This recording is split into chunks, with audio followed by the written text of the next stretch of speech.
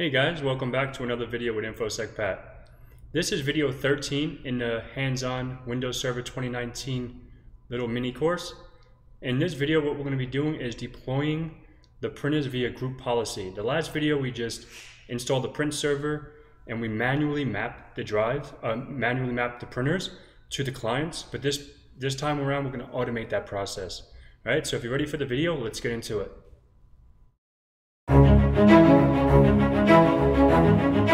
Alright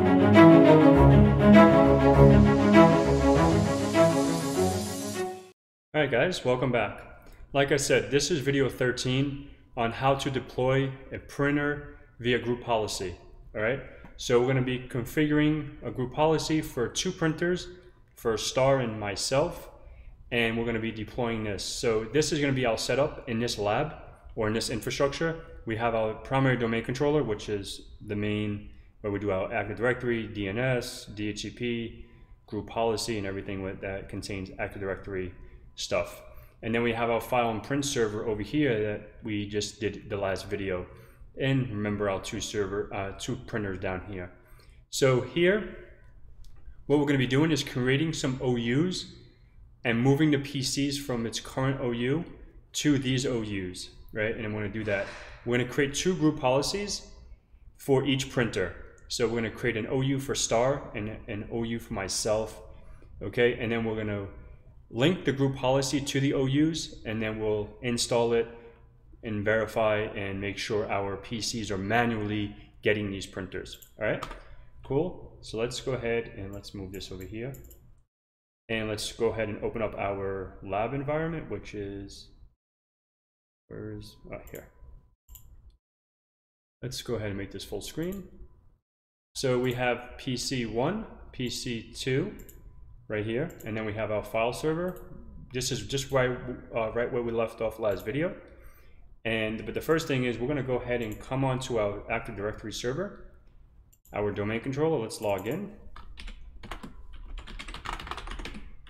So there's no organization units under work computers. So we have two computers, but we're going to actually create two new OUs. I'm going to create a OU for star.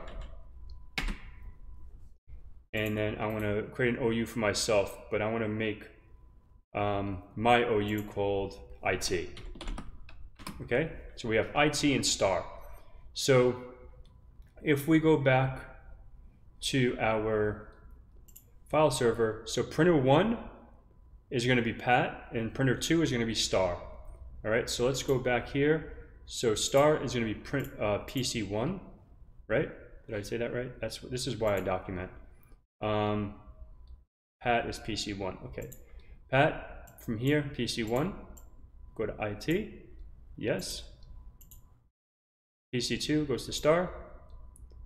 Okay, so now we have star, and we have star and IT in its respective OUs. All right, so that's cool. So we have that set up. So now we have the OUs, that's, uh, uh, that's um, step one, and we move the PCs into the proper OU. Now let's go ahead and create some group policies. All right, so let's go ahead and open up group policy management. This is our group policy management. Let's go ahead and create two new policies. So we'll make this one IT, and then we'll make the other one star. Okay, so we have two, and let's go ahead and come up here to computers.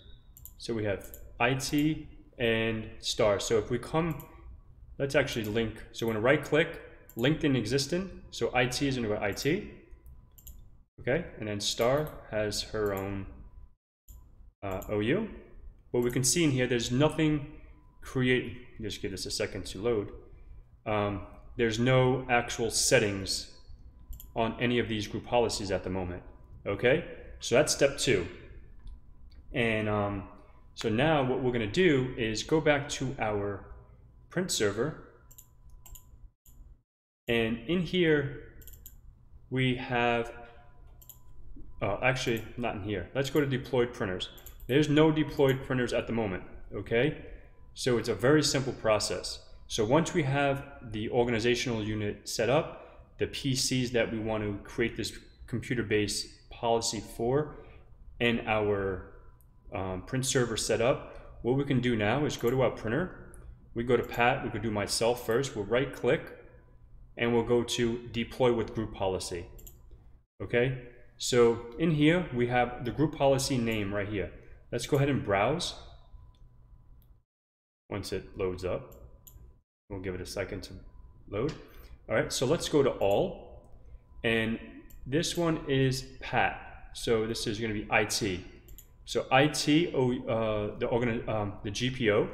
So when you hit OK, choose IT or choose whatever you name it. Hit OK. And this is gonna be a computer-based group policy. It's not gonna be user-based. It's gonna be directly to this PC. So we're gonna hit add. So now we have this share name linked. It's a it's a it's a connection type is per machine, and it's the group the GPO is called IT. All right. So now we can hit apply.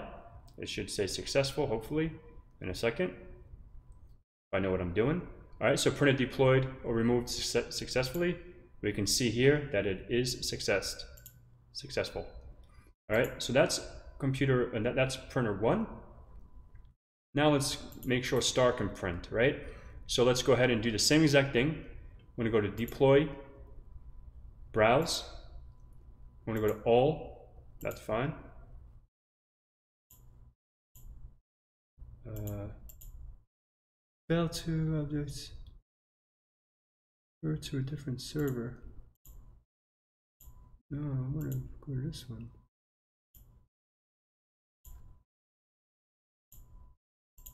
Really weird. Uh, failed to include the list of group policies linked in this container. That's interesting. Referred. A referral was returned from the server. All right, uh, give me a second. Let's go ahead and see what's going on with that. Uh, let's refresh this. Give this a second. All right, we show, we can see IT, and let's go ahead and refresh.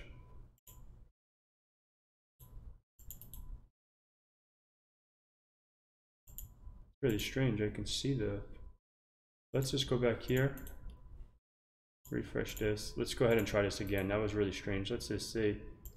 Um, so now I'm gonna browse all yeah, that was really strange. I don't know. So now I want to do star because this is stars. Okay.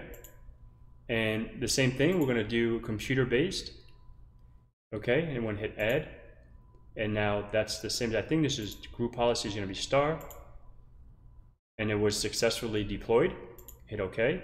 Okay. Now we can refresh. And now, if we know what we're doing, which was weird that we had that error, but sometimes you have to uh, work through some stuff, right? That's what the world of IT is. All right, so now let's go ahead and go back to Florida, computers, star, and IT.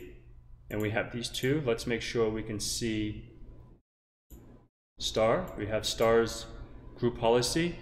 And if we go onto Active Directory, let's go over here, Florida, computers. So IT, is PC1, client 1, and star is PC2. So what we can do now, and that was um, verify the installation.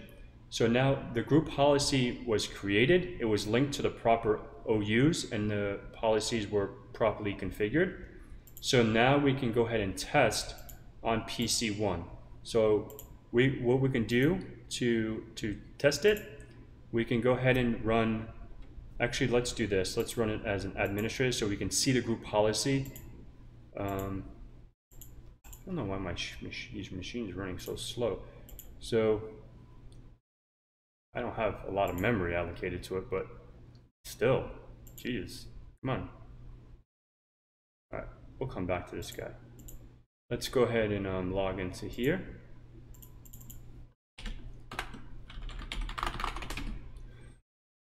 All right.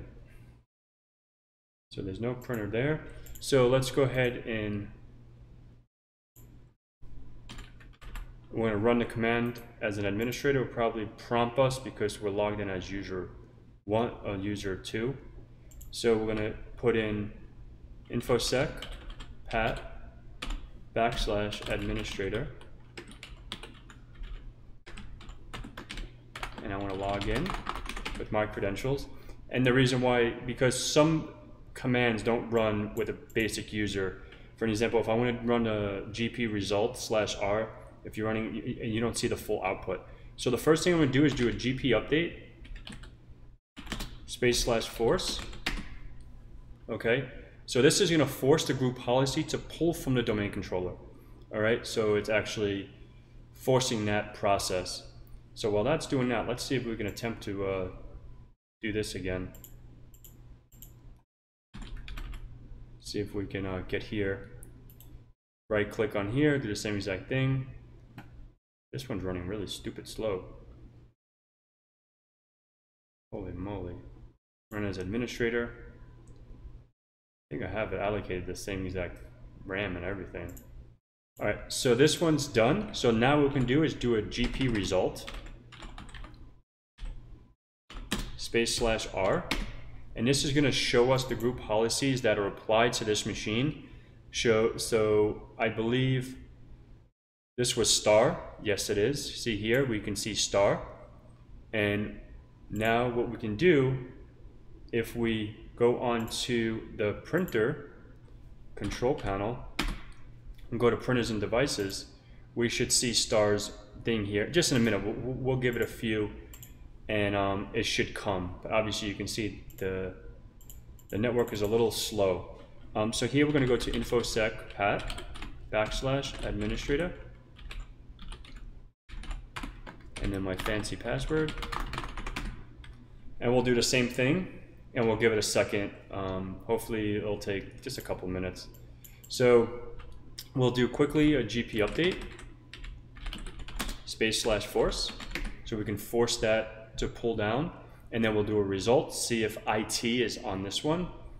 And then what we'll do while this is doing that, what I want to do on here is just reboot this machine. I'm gonna reboot. Okay, give this a give this a nice clean reboot because it's been on since last night. And um, so we'll give that some time. Refresh this. This is our print server. Let's go to our AD server. Okay, this is all good. And we don't need anything in there. I'm just gonna close everything. Uh, we don't need anything in Server Manager. And we don't need anything in DHCP right now. So we're good. I think it's the server too that's actually handing out because I think I only let me see something. I think I put it from eight to six gig. Yeah, I'm gonna have to I'm gonna have to bump that up a little bit. Um, so all right, cool. So now this is uh, so now we're to do a GP result, space slash R, to see, make sure IT is running uh, the group policy on this machine because this is PC1 and PC1 is myself. Let me log back into STARS machine. Come on. All right, let me log in.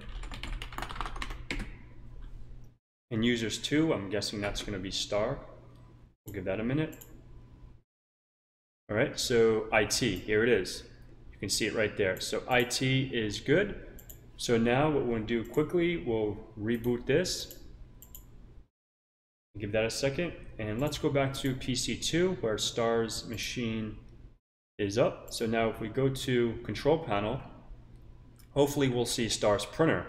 If STARS printer is there, then our process of deploying this via group policy was a success. And there it is. It's installing now.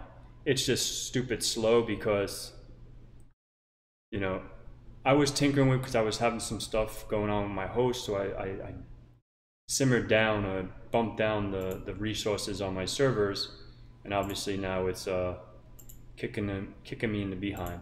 All right, so that's that. Well, there, look, I came X out of this thing.